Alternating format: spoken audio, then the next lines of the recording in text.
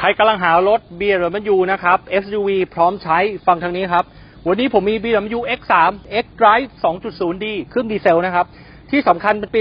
2015 แต่งชุด M Sport จากโรงงานหายากนะครับ ชุดแต่งอย่างเดียวเนี่ย ผมว่าเป็นแสนนะ ไม่แสนสามครับ ปี 2015 ราคา 99,000บาทเท่านั้น ผมบอกเลยว่าช้าอดนะครับ จริงๆ คันนี้มีคนจองมาแล้วแต่หลุดจองครับ ฝากกดไลค์กดแชร์เป็นกำลังใจให้ช่องโนเนมและคาบานาน่า ฝากกดหน่อยนะครับ ฝากกดหน่อยนะครับ กดหน่อยนะครับ กดเลยครับพี่ พี่ยังไม่ได้กดเลย กดเลย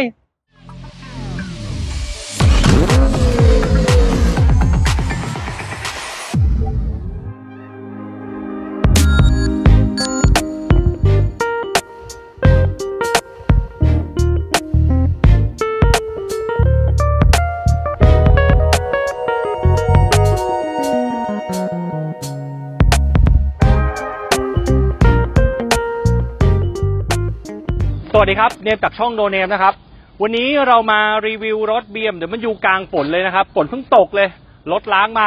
หมาดๆเลยนะครับ งั้นรีวิวก่อนนะครับ เพราะเนื่องจากว่าแดดร้อนมาก BMW X3 นะครับ ตัวนี้เป็นเครื่องดีเซลปี 2015 นะครับ X3 F25 เนี่ย จริงๆ ผลิตมาตั้งแต่ประมาณปี 2011-2012 นะครับ จริงๆ หลังประมาณซีรีส์3 4 5 ออก แบ่งด้วยกัน 2 ตัว ตัวก่อน Minor แล้วก็ Minor Chain นะครับ เอาแบ่งหลักๆ นะ ผมขออนุญาตแบ่งกันที่ไฟแล้วกันนะครับ ปี 2011-12 นะครับ ถึงประมาณปี 2014-15 เนี่ย ตัวถ้าเป็นไฟตัวเดียวกับไฟนี้นะครับ จะเป็นตัวก่อน Minor Chain แต่ข้างในย่อยๆ จะมีตัวออปชันที่เพิ่มขึ้นนะครับ ตัวนี้เป็นตัวสุดท้ายก่อน Minor Chain ถ้าเป็นตัว Minor Chain นะครับ ไฟจะเป็นไฟบูมที่เป็นแหลมลงตามทับรูปที่ขึ้นมาให้นะครับ จะเป็นตัว Minor Chain แต่จริงเป็นเครื่องเดียวกัน ดังนั้นแล้วแต่ความชอบเลยชอบก่อน Minor แล้วก็ไม่ Minor นะครับอยู่ที่บัตเจ็ต F25 หรือ X X3 เป็นรถยอดนิยมอย่างหนึ่ง สภาวะอากาศแบบนี้นะ ฝนตกนะครับน้ำท่วมการเดินทางด้วยรถซีดานบางอย่างนะครับ โดยเฉพาะรุ่นยุโรปเนี่ยจะมีปัญหาเรื่องน้ำค่อนข้างเยอะ น้ำเข้าเครื่องนะครับ หรือลุยน้ำเนี่ย ดังนั้นรถ SUV จึงเป็นรถที่มีแต่คนหานะครับ แล้วมันใช้งานง่าย โดยเฉพาะ F25 นะครับ จุดแข็งของเขานะ SUV ที่ขับสนุกครับ อาจจะไม่ได้นุ่มนวลนะถ้าคุณจะหานุ่มนวลผมว่า F25 อาจจะไม่ได้นุ่มมากนะครับ แต่ firm แล้วก็ขับดีนะครับแล้ว option เขาโอเคด้วย จุดเด่นที่ 2 ครับ คือโคตรประหยัด ตัวนี้ใช้ดีเซล Twin Power Turbo นะครับ184 แรงม้าคือ 2,000 เทอร์โบนะครับคู่เกียร์อัตโนมัติ 8 speed ถ้าไม่ได้เหยียบมาก ๆ นะครับ ผมว่า 10 กว่ากิโลเมตรต่อลิตรเนี่ยเขาเคลมไว้ประมาณ 10 12 ถึง 14 นะครับ ผมว่าผมทำได้นะ ถ้าคุณไม่ได้แบบโอ้โหเหยียบตะบี้ตะบันนะครับ แล้วแต่เท้าแต่เป็นรถที่ประหยัดจุดเด่นที่ 3 เฉพาะคันนี้ก็คือออกมาเนี่ยจะเป็นตัว X Line ตัวท็อปสุด แต่คันนี้นะครับมีการเบิกชุดแต่ง M Sport จากโรงงานแต่มือหนึ่งนะครับกันชนหน้ากันชนหลังนะครับ แล้วก็กาบข้างกับบันกับบันไดเนี่ยมันจะเป็นสีเดียวกับตัวรถนะครับ ซึ่งมันพิเศษกว่า แล้วเอาจริงสวยกว่านะครับ กันชนหน้านี่ชัดเจนเลย ราคานะครับ 99,000 บาทครับ ใครสนใจคันนี้นะครับ อยากแลกอยากเทินอยากขายอยากฝากขายนะครับ แอดไลน์มาที่เบอร์ QR code ตามนี้ได้เลย ช้าอดแน่นอน เดี๋ยวไปดูนะครับว่ารถน่าใช้ขนาดไหนครับ X3 ตัว 2.0D นะครับ X Line นะ คันนี้นะครับต้องขอโทษนะ พอดีฝนตกพอดีเลยนะครับ เราเลยถ่ายให้ก่อนเลยละกันเนาะไฟหน้านะครับ ตัวนี้จะเป็นไฟซีนอนลูกแก้ว 2 ลูกแบบนี้นะครับ ตัวนี้จะเป็นตัวก่อน LCI นะ ถ้า LCI ตรงนี้จะแคบลงมานะครับ อย่างพิเศษคันนี้ก็คือกันชนหน้านะครับ กันชนหน้านี้จะเป็นกันชนหน้า M นะครับ จะเป็นกันชนแบบนี้เลยนะครับ ซึ่งพิเศษกว่าปกติแพงกว่านะ ล้อนะครับเป็น p i e r y นะครับ ทุกอย่างเป็นล้อเดิมเป็นล้อ M นะครับ เป็นล้อขอบ 18 อันนี้นะครับที่แตกต่างก็คือคิ้วพวกนี้นะครับ จริง ๆ สะอาดหมดเลยนะ พอดีเนี่ยเพิ่งลุยฝนมานะครับ ตัวพวกเนี้ยกาบพวกนี้นะครับ จะเป็นกาบที่เป็นสีขาวนะครับ ถ้าเป็น M เนี่ยจะเป็นสี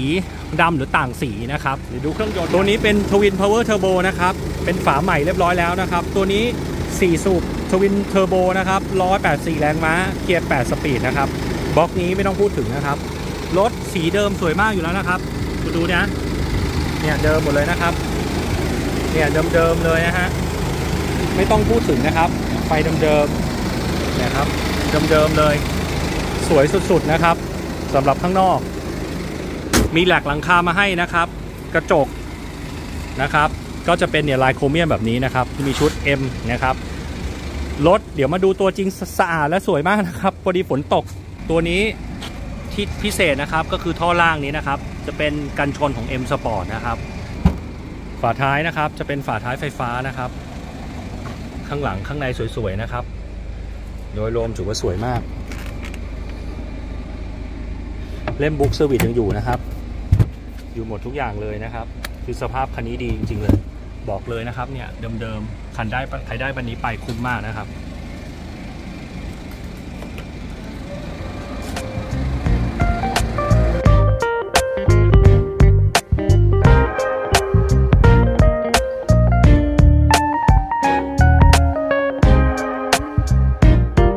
เข้ามาอยู่ในรถของ BMW X3 นะครับ 320D ตัวนี้เป็นตัว M Sport นะครับ ชุดแต่ง M Sport ฝนตกนะครับ ขออนุญาตเข้ามาข้างในกันเลยนะครับ กุญแจอยู่ตรงนี้นะ คืออยากให้ดูข้างในนะครับ ที่อินเสิร์ตอยู่แล้วเนาะเบาะภายในข้างในคันนี้สวยงามมากนะครับ พอดีอันนี้จอดอยู่ในที่ร่มนะครับ ติดฝนพอดีสตาร์ทรถให้ดูเลย คันนี้ผมบอกเลยนะครับ ใครช้าอดแน่นอน คันนี้นะครับ ไม่แสนสามเจ็ดนะครับ ไม่แสนสามเจ็ดนะครับ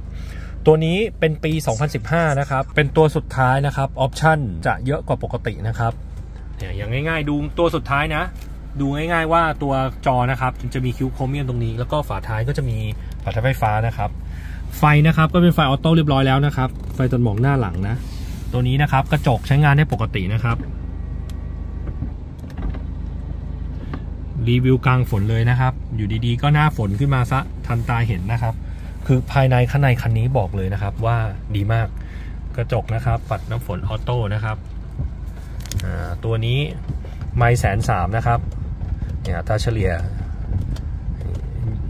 ประมาณนี้นะครับพวงมาลัยเนี่ยตัวเนี้ยถ้าเป็นตัว 14-15 นะครับ ก็จะมีโครเมียมตรงนี้นะ เป็นตัวใหม่เรียบร้อยแล้วนะครับ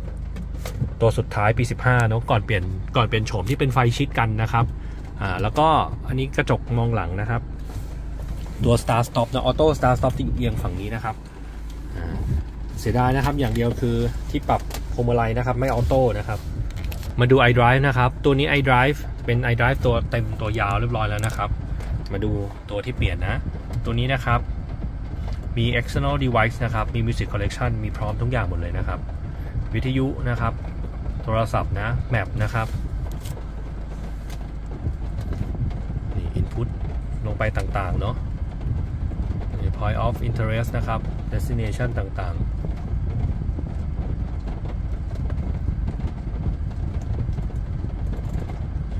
สัญลักษณ์ต่างๆนะครับ ตัวนี้ถ้าเป็นตัวขับ 4x drive นะ มันจะมีตัว sport display ตัวนี้ด้วยนะครับ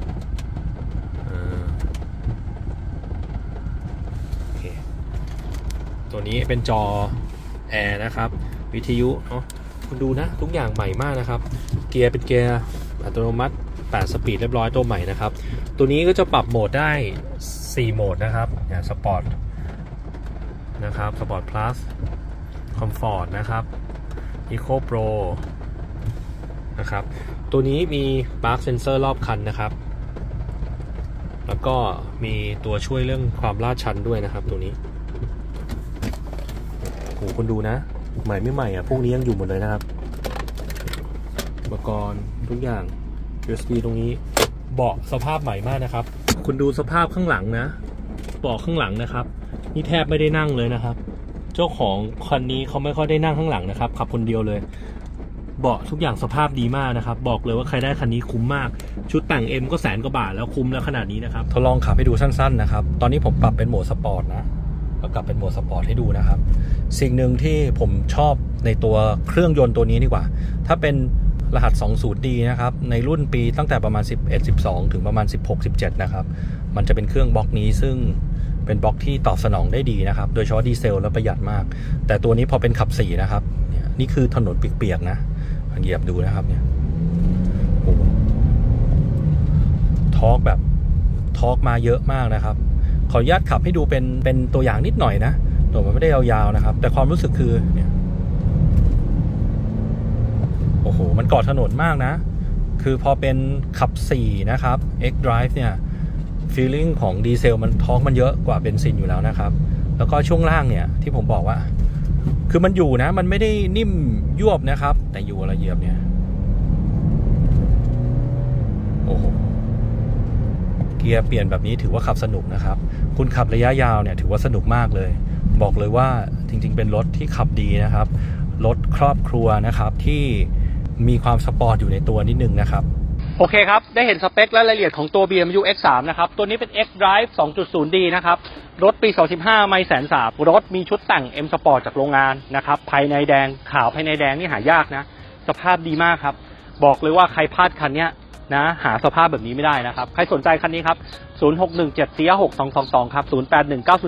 0819082066 หรือ QR code ตามนี้ได้เลยนะครับ หรืออยากจะซ่อมรถ นะครับดูแลรถหรือ restore รถนะครับทำสีภายในยังไงก็แอดไลน์เข้าที่แอดโนเนมได้เลยนะครับสุดท้ายฝากกดไลค์กดแชร์ช่องโนเนมคาร์บานาน่านะครับแล้วก็ติ๊กตอกช่องโนเนมด้วยนะครับจะขายรถจะซื้อรถนะครับ อย่างน้อยโทรหาโนเนมนิดนึงครับ โทรมาเช็คราคากันได้ ถ้าเราเล่นรถเราเป็นพี่น้องกันนะครับ สวัสดีครับ